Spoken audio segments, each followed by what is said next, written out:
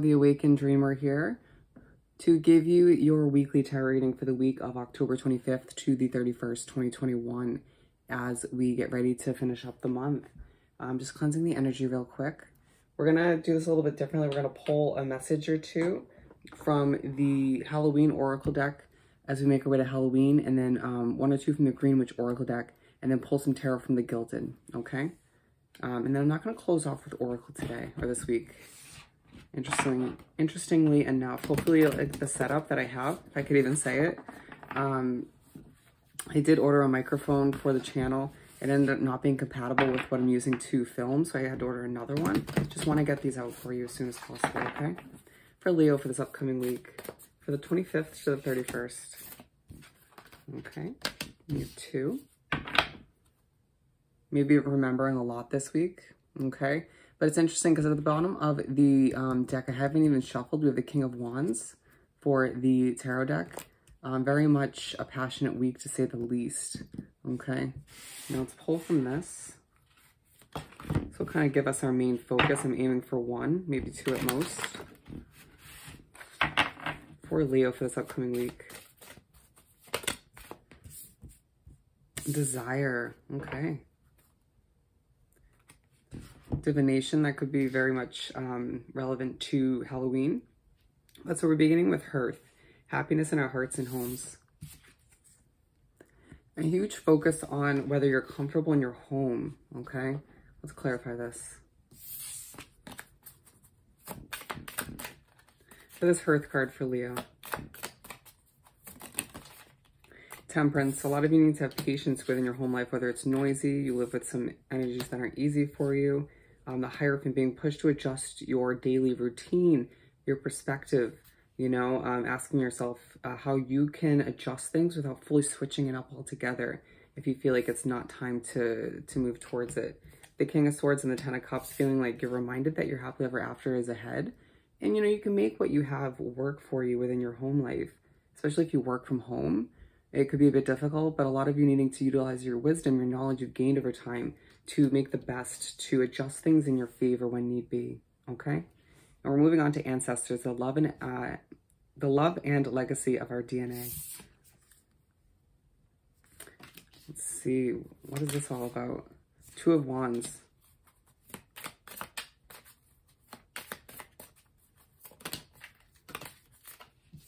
gonna go with these.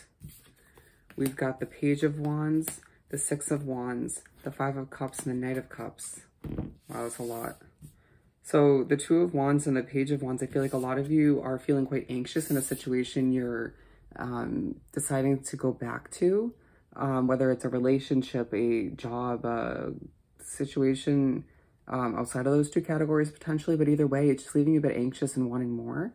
Um, or it could be you sort of going back to something or thinking back to something as you long for more. You know, it could be you in your living situation not thriving and desiring uh, more and thinking back to another situation that worked out better in one way, shape, or form, okay? Um, or you could be thinking about how you can minimize your anxiety, that sort of stress, and um, within your work environment or your living situation or relationship, okay? But Six of Wands, feeling like you're gaining a lot of attention all the meanwhile, but finding it hard at certain points this week to not expect the worst or to focus on what's not working out, okay? With the Knight of Cups, wanting to emotionally go after a fresh start, but it feeling like it's slow to get started, but for a reason. Again, I feel like a lot of you are going back to something, okay, or thinking back to something, um, and mulling over whether or not that was, you should have stayed with it, stuck with it. Um, the answer for a lot of you is if you're already about to move towards it, then yes, you're meant to go back to it, okay? If you haven't already began to at this point throughout the week, I don't feel like it. I feel like it's more of just a, uh, a thought process you're meant to go through, okay? I need to release uh, that thought of maybe going back to it if you haven't already began to.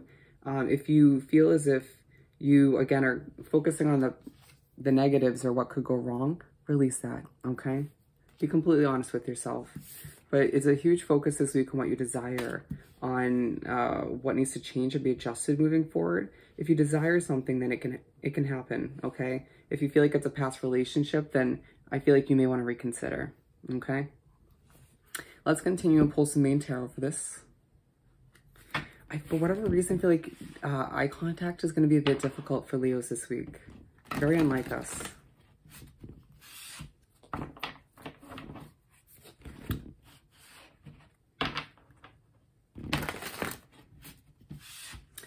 For my lovely Leos to continue this weekly read for the 25th to the 31st, 2021. We're aiming for five or six, but we'll see what we get.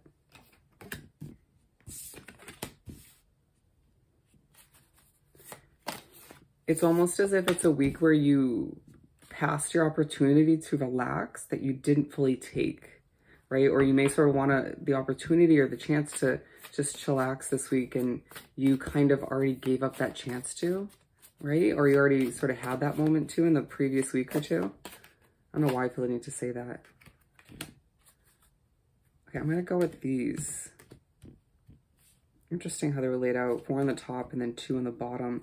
Um, so we're beginning with the High Priestess, the Ten of Pentacles. So we have the Ten of Cups that came out before, as well as the Ten of Pentacles. So huge focus on completion, on making your way towards that happily ever after, okay? Uh, a lot of you thinking about how you want to be rich or how you want to sort of have enough money. You could be spending in a way that makes you feel as if you have more than you do. Does that make sense? So you could be overspending uh, or just buying uh, quality over quantity, expensive items. The High Priestess. I feel as if it's going to be a very spiritual week, whether you want it to be or not. You could find that you, oddly enough, are sort of floating through the week, especially in the beginning, feeling like people sort of look at you in a very angelic light. But the Three of Swords, it's as if you are coming off as if things aren't as heavy as they used to be. And I feel like they aren't for the most part. But there's a focus on you feeling a bit heartbroken for whatever reason. Why are Leos feeling heartbroken this week? Something hasn't begun yet. Or maybe you thinking about a past loved one or a lot of you just wanting more love in your life in general, even if you're in a relationship. Feeling like things are improving and things are going to sort of fall into place. And I do see a lot of you having that um, intuitive feeling throughout the week, and recently you have been too.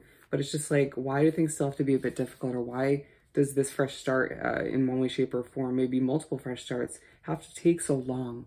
Can we like speed things up a bit? Do you hear my the tone of my voice? It's a little bit kind of somber, a little bit emotional. Give yourself credit. Just because we're the lion, this one of the strongest signs, doesn't mean we can't have our emotional moments. Damn, we do. The magician.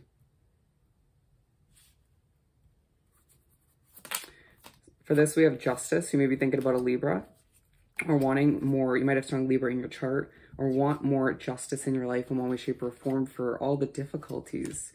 With death, that you could be thinking about a past situation where you did not get that level of justice and trying to, all the meanwhile, manifest what you desire. Okay? Uh, with the sun, we have our energy uh, once again, feeling as if, um, or not once again, but either way, uh, feeling as if you just are thinking a lot about completion, about your happiness, about whether or not people, situations, or where you're at is making you happy. And if not, how can we move forward and adjust things? But keeping in mind that the possibilities are endless. And how do we manifest what we desire? Okay. Uh, going back to that judgment card, I need to release any doubt or, uh, or lack of hope. Okay. Expecting the worst. It's an old habit. Let's keep it in the past. Let's put it to rest. Okay. Bear with me as I put on some chapstick. I feel like this is this moment I'm having right now with the chapstick. Like, don't be afraid to stop and do what you have to do to feel more comfortable throughout the week. It'll improve what you're trying to communicate or how you're coming off to other people. You don't want to be super uncomfortable, okay? I would have been super uncomfortable if I had dry lips the entire rest of the reading. Page of Cups again, but this time it's in the upright, okay? What do we have for Page of Cups? I do feel like a lot of Leos are dealing with some noise that puts them on edge, but you're just working around it, right? The Magician again. So that's back to back. A lot of you wanting to manifest something, uh, but feeling a bit emotional the meanwhile. I think it's due to your lack of sleep or your spiritual connection or the focus on the past. Spirit could be reminding you of the past in a lot of ways. Or you could find that you're trying to start fresh with something or move towards something fresh. And that's all you can sort of think about is the past but a huge focus that's being aligned with the desire card. What do you desire? What are your, what do you emotionally desire? Right? But how are you going to sort of go after it? Um, I don't, I'm not saying go back to it. How are you going to go after something in a fresh, new, uh, confident way, but sort of put your emotions aside, I want to say. With this three here, um, you'll see a lot of threes this week.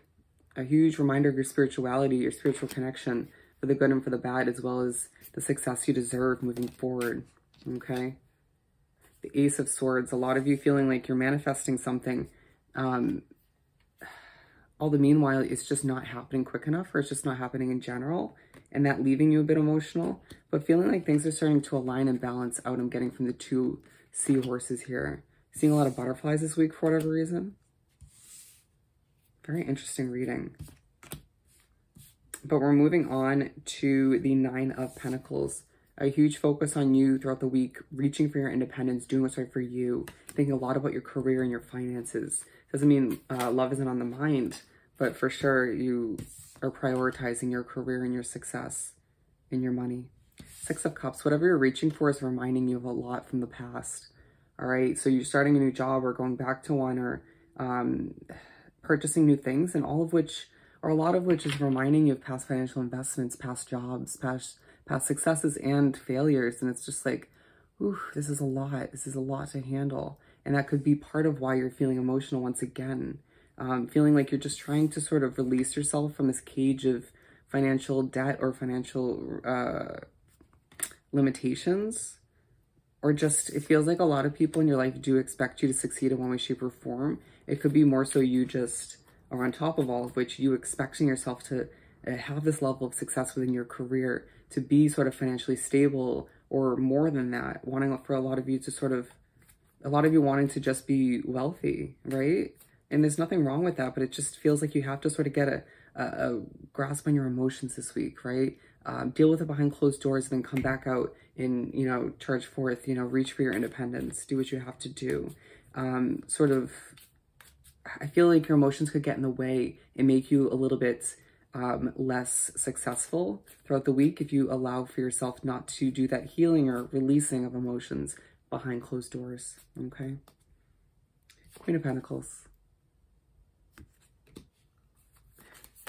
Yeah, a lot of pentacles on the board. Two of swords. So a lot of you feeling calm and confident. Again, this underlying focus, uh, underlying feeling of you being a bit emotional, but just feeling as if as you make your way through the week, you just have this blindfold on when it comes to you not knowing how things are meant to proceed, right? Um, feeling like the universe isn't making things 100% clear, um, but they're not meant to. You're being told to sort of believe and keep that hope alive, and being aligned with a um, magician just to manifest what you desire at this time.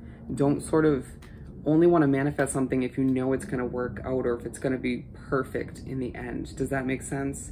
Needing to sort of um, keep yourself moving forward towards what you deserve, knowing it's going to work out, not sort of uh, needing that clarification or that sort of crystal clear image of the future to, to keep moving. But I'm also getting now that a lot of you are presenting something, whether it's online, for a business or a project or on social media, or maybe within your work environment. Maybe you're showing your loved ones your work that you've been sort of working on, or they're seeing it in a positive light. And it's sort of you feeling kind of overly serious, uh, a bit uptight, but then people just kind of complimenting you and seeing thing, seeing the work you're producing or whatever you've been creating and being quite amazed by it.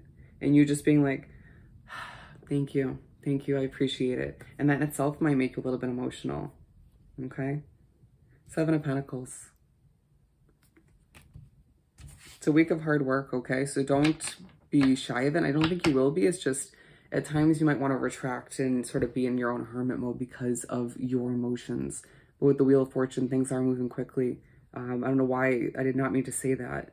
So perhaps they will be this week, but I feel like the wheel's turning for you. Things are happening. Progress is taking place.